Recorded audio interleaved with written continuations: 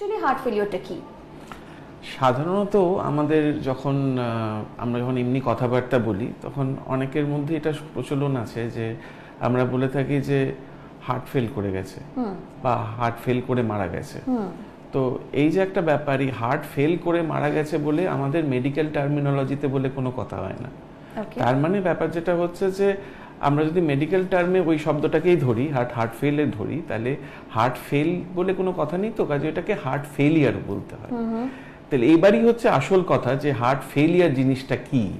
তো ব্যাপার যেটা হচ্ছে যে হার্ট ফেলিয়ার সম্পর্কে যদি আগে বলতে হয় তাহলে আগে জানতে হবে যে আমাদের হার্টের একটা কাঠামোগত চিত্র অর্থাৎ হার্টের চেহারাটা কীরকম হয়। তো একটা ছোট্ট ছবি যে যদি হার্টের চেহারাটা যদি আমরা এখানে দেখাই যে মোটামুটি যদি আমরা হার্টের চেহারাটা এখানে দেখাই তাহলে এখানে দেখানো যাবে যে হার্টের মেইনলি আমাদের দুটো মেইন চেম্বার থাকে। একটা হচ্ছে ডান দিকের একটা চেম্বার যেখান থেকে একটা নীল রঙের একটা ধমনী বেরিয়ে আসছে। আরেকটা হচ্ছে একটা লাল রঙের চেম্বার যেখান থেকে একটা লাল ধমনী এসে এখানে পড়ছে। এই যে নীল রঙের ধমনী যেখান থেকে বেরোচ্ছে সেটাকে আমরা বলে থাকি রাইট ভেন্ট্রিকল আচ্ছা। এবং যেখান থেকে ওই লাল ধমনীটা এসে যেখানে ঢুকছে সেটাকে আমরা বলে থাকি লেফট ভেন্ট্রিকল এই রাইট অ্যান্ড লেফটের খেলাতেই জমে হার্ট ফেলিয়ারের গল্প। তো ব্যাপার যেটা হচ্ছে যে সাধারণ মানুষের জন্য এটাকেই জেনে রাখা দরকার যে হার্টে চারটে মেইন চেম্বার থাকে। তার মধ্যে যেটা এক্ষুনি দেখালাম একটা ডান দিকের একটা বাদিকের তাছাড়াও আরও দুটো ছোট ছোট চেম্বার থাকে। সেটার মধ্যে এখন আর সেই বিস্তারিত আলোচনায় যাচ্ছি না। তো এই যে ডান দিক এবং বাদিকের ব্যাপারটা এটার জন্যই তাদের যখনই তাদের কার্যক্ষমতা কমে যায় তারা যখন ঠিক মতন কাজ করতে পারে না তাদের থেকে যখন রক্ত ঠিক মতন পাম্প করে ওই ধমনীগুলোর মধ্যে যায় না তখন সেটা কি হয়? বডির মধ্যে অক্সিজেনের ডিমান্ড কমে যায়। মানে রাদার অক্সিজেনের ডিমান্ডটা আমরা মিট আপ করতে পারি না এই লেস সার্কুলেশনের জন্য। অর্থাৎ সেখানেই হয় হার্টের দুর্বলতা। আচ্ছা। এবং সেখান থেকেই আসে হার্ট ফেলিয়ার শব্দটা. অর্থাৎ এটা হতে পারে ডান দিকের হার্ট ফেলিয়ার এটা হতে পারে বাঁ দিকের হার্ট ফেলিয়ার অর্থাৎ ডান দিকের চেম্বারের দুর্বলতা অথবা বাঁ দিকের চেম্বারের দুর্বলতা।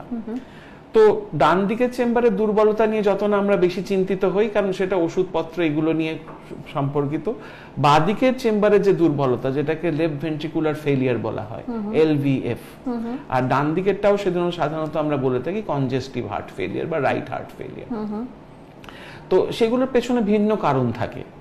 তো এই কারণগুলিতে নিশ্চয়ই আসব ডক্টর ভৌমিক। তবে আমরা যেহেতু হার্ট ফেলিওর নিয়ে কথা বলছি যেটা সাধারণ মানুষ মানে এটা নিয়ে সাধারণ মানুষের কি প্রশ্ন থাকতে পারে? আমরা শুধু সেই অ্যাঙ্গেলেই আজকে কথা বলব। তাই আপনারা যারা আমাদের সঙ্গে রয়েছেন, তাদের যদি কোনো প্রশ্ন থাকে, আজকে যেহেতু আমাদের বিষয় হার্ট ফেলিয়ার এটা নিয়ে যদি কোনো প্রশ্ন থাকে, নিশ্চয়ই কমেন্ট বক্সে আপনারা লিখে পাঠাবেন। আপনাদের হয়ে সেই প্রশ্ন আমি ডক্টর ভৌমিকের কাছে পৌঁছে দেবো। যেটা আপনি বলছিলেন যে বেশ কয়েকটা কারণ থাকে তো হার্ট ফেলিয়ারের কি কি কারণ? কি কি কারণে হয় এটা? সাধারণত অনেক সময় দেখা যায় যে আমাদের কিছু রোগ থাকে যেগুলোর জন্য হার্ট ফেলিয়ার হয়। যেরকম কারোর ভ্যালভের রোগ থাকে তার থেকে হার্ট ফেলিয়ার হতে পারে। ভ্যালভ মানে হচ্ছে হার্টের দরজা বলি আমরা। অর্থাৎ এই যে এক চেম্বার থেকে আরেক চেম্বারে যে রক্তের আদান প্রদানগুলো ঘটে সেগুলো তো একটা দরজার মারফত দিয়ে হয়। সেগুলোকে আমরা ভ্যালভ বলে থাকি। তো হার্টের মধ্যে এরকম চার রকমের ভ্যালভ থাকে যেগুলোর মধ্যে আমরা ইয়ে করে থাকি। তো সেই যে ভ্যালভের কিছু ডিসফাংশন বা ভ্যালভের কার্যক্ষমতা যদি কম থাকে বা সেখানে যদি লিকেজ থাকে সেখানে যদি টাইটনেস থাকে অর্থাৎ রক্ত ঠিক মতন একটা চেম্বার থেকে আরেকটা চেম্বারে যেতে পারছে না এরকম যদি কোনো প্রবলেম হয় তাহলে সেখান থেকে হার্টের কার্যক্ষমতা নিয়ে সেখানে প্রবলেম ডেভেলপ করে। কাজে হার্ট পাম্পিং ঠিক মতন করতে পারে না যে কারণে।